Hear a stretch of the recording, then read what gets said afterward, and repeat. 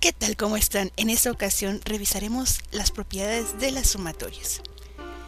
En el primer ejemplo recordarán que esta sumatoria se vio en el video anterior. Vamos a dejar la liga en la caja de información y en la parte superior para que ustedes lo puedan revisar. En esa ocasión vimos que la sumatoria simplemente se extendía y el resultado que obteníamos era de 55. Era la, suma de todos los números del 1 al 10. Ahora vamos a aplicar una propiedad de la sumatoria para hacer más corto el camino. Aquí simplemente tenemos que fijarnos muy bien dónde termina la sumatoria, es decir, n es igual a 10 para este ejemplo. Y la fórmula está sencillísima de aplicar, lo único que hay que hacer es sustituir ese 10 donde vean la n y van a obtener el mismo resultado que de la forma extendida. Vamos a dejar las propiedades en nuestro blog para que las puedan tener a la mano. Les vamos a dejar la liga en la caja de información. En el siguiente ejemplo, vamos a tener una sumatoria que empieza en 1, termina en 40, pero ahora son dos términos que se están elevando al cuadrado.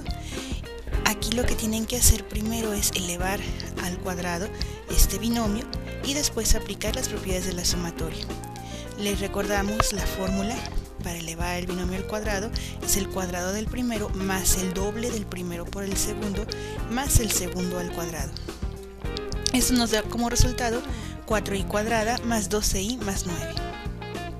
Aplicamos la primer propiedad que se va a utilizar es ustedes pueden tener dos tres términos y los pueden separar de acuerdo al signo que se tenga, por ejemplo más o menos, y tener varias sumatorias. Para este ejemplo en particular, nosotros tendríamos tres sumatorias, como se los estamos indicando en la pantalla. Para cada una de esas vamos a desarrollar y aplicar algunas de las propiedades. Les colocamos los números 1, 2 y 3 para que las puedan eh, identificar en el proceso.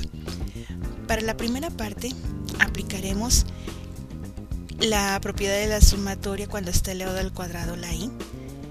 Y también vamos a aplicar la de las constantes. Esta es una propiedad muy sencilla, simplemente cuando vean un número que está acompañando a la i se va a poder sacar. No es el caso de los números cuando están solos, como en el número 3, eso lo vamos a ver a continuación. Entonces aplicando esta propiedad, sustituimos el número 40 en la n desarrollamos. Si se fijan, dejamos 4 por 22.140 y eso nos da como resultado final 88.560, que es para la parte número 1.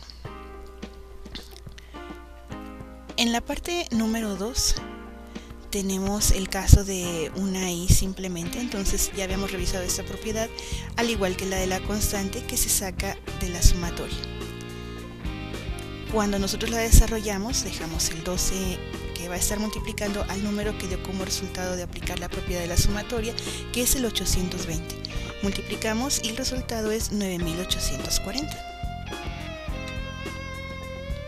Por último, tenemos la propiedad que nos indica qué hacer con una constante cuando no está acompañada de una variable y sin embargo forma parte de la sumatoria. Aquí lo que hay que hacer es multiplicar la n o el número final por la constante. Y esto nos va a dar como resultado 9 por 40, 360. Ahora sí, ya tenemos los resultados de cada una de las partes y lo único que hay que hacer es sumarlos. Esto nos va a dar como resultado final 98.098.760. Y con eso termino. Recuerden que aquí funciona divide y vencerás. Lo vamos haciendo paso a paso, aplicando las propiedades de las sumatorias y tenemos el resultado de forma correcta. Nos vamos con un ejemplo más. ¿Qué pasa si una sumatoria no comienza en 1? Como esa tenemos una i que comienza en 50 hasta 100 y es el cuadrado de todos esos números. Para no tener que hacerla de forma manual, aplicamos las propiedades que ya vimos, pero teniendo en cuenta comienzan solamente en uno. Entonces podemos separar nuestra sumatoria de dos formas. Bueno, es una sola forma, pero en dos sumatorias que comiencen en uno.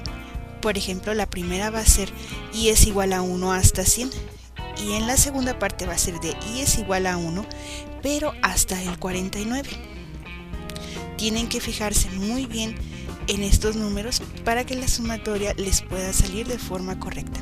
Ustedes lo pueden intentar en casa. Esta misma forma, pero con números más pequeños podría ser desde i es igual a 5 hasta 10 para que prueben las dos formas. La forma este la pueden hacer manual, es muy sencillo, 5 al número 10 y aplicando esta, este pequeño truco. El resultado de esta sumatoria es 297.925. Pues esperamos que este video les haya sido de utilidad. No olviden dejarnos sus comentarios y esperamos que tengan dejarnos su like si así fue de utilidad para ustedes.